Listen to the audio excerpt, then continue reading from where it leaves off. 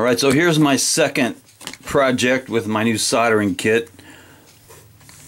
It's called the Velleman uh, Mini Kit and it's a dual white LED stroboscope and here's the finished product.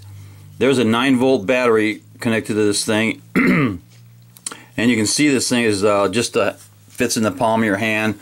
So what can this thing do? I'm going to turn the lights off and we'll see. It's got an on off switch there's the strobe on its low setting. It Goes from 1 to 60 cycles per second. And you can speed it up a little bit there. It also has a little uh, potentiometer to speed it up even more.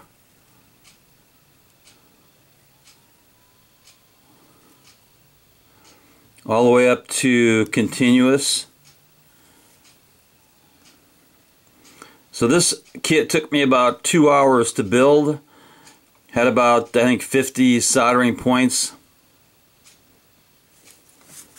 But it's a pretty nice second kit. Pretty easy to do. And I'm giving you some cowbell at no extra charge.